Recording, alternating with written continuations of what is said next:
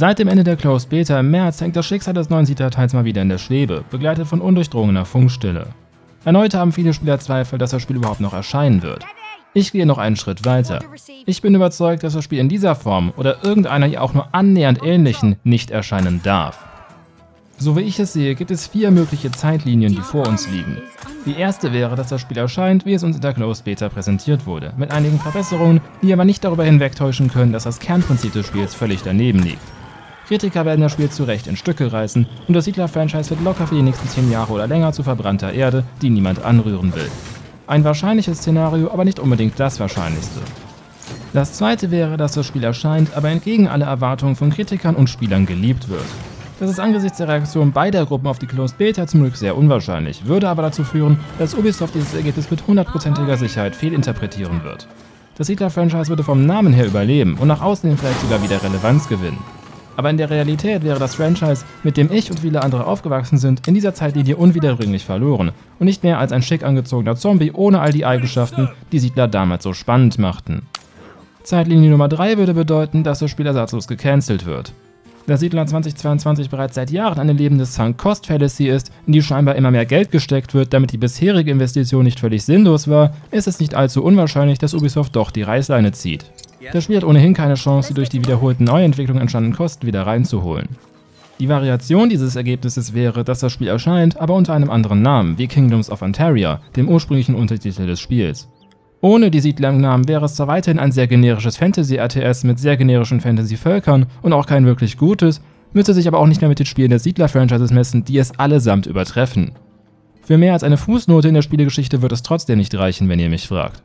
Sowohl die dritte als auch die vierte Variante würden eine große Narbe auf dem Franchise hinterlassen, ihm aber auch eine kleine Überlebenschance einräumen. Siedler hat in gewisser Weise ein ähnliches Problem, wie es Star Trek hatte und zum Teil immer noch hat.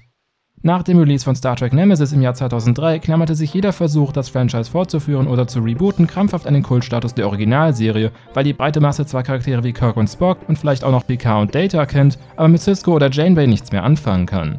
Das führte dazu, dass die 2009er Filmtrilogie und auch viele der neuen Serien lieber die alten Charaktere und Geschichten neu aufrollen, statt neue zu erzählen. Erst 2020 kam mit der animierten Serie Lower Decks wieder ein Star Trek, das das Universum fortgesetzt hat, statt ein Prequel zu sein oder einfach Patrick Stewart wieder als PK ins Boot zu holen. Was alles voll in Ordnung gewesen wäre, wenn man vor lauter Nostalgietrip nicht vergessen hätte, einen Plot zu schreiben, der von Anfang bis Ende Sinn ergibt. Für Siedler ist es ähnlich. Wenn eines der Spiele sofort selbst für Laien erkennbar ist, dann Siedler 2. Für die ersten vier Teile ist eine klare Evolution erkennbar, die auch mindestens bis Siedler 3 so von Volker Wertig gewollt war, zumindest zu der Zeit.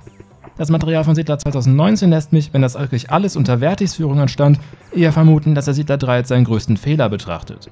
Wenn das so ist, bin ich sehr klar der Meinung, dass er da falsch liegt. Aber auch ohne Wertig kann Siedler nach dem vierten Teil nur zwei Extreme. Spiele wie das Erbe der Könige, die nur vom Namen her ein Siedler sind, und Spiele wie die nächste Generation oder Aufbruch der Kulturen, die gezielt Siedler 2 Nostalgiker abholen sollen, wobei das im ersten Fall als Remake noch völlig legitim ist. Dazwischen scheint nichts mehr zu existieren, und dabei bin ich überzeugt, dass eine Weiterentwicklung der Siedler 3 und 4 Formel der Schlüssel ist. Mein Siedler 5 Entwurf soll genau das beweisen.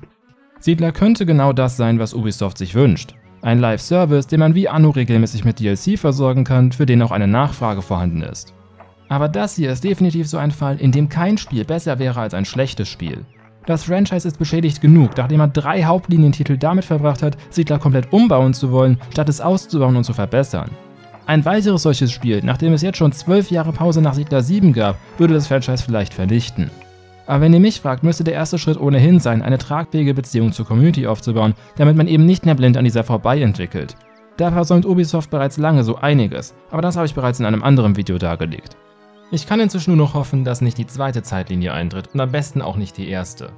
Ideal wäre aus meiner Sicht die dritte oder vierte Zeitlinie in Verbindung mit konzentrierter Community-Arbeit, damit dann hoffentlich jemand, der versteht, worum es in Siedler geht und gehen sollte, irgendwann unter Einbeziehung der Community ein neues Projekt von Grund auf entwerfen kann. Falls euch interessiert, wie meine ideale Siedler-Fortsetzung aussieht, empfehle ich einen Blick auf meine Siedler 5 Entwurfs-Playlist. Aber ich wage es nicht mehr zu hoffen, wenn es um Ubisoft oder ihresgleichen geht. Und leider können wir auch nicht davon ausgehen, dass Ubisoft die Rechte am Franchise an fähigere Leute verkauft oder zumindest lizenziert, denn dann könnten ja andere davon profitieren.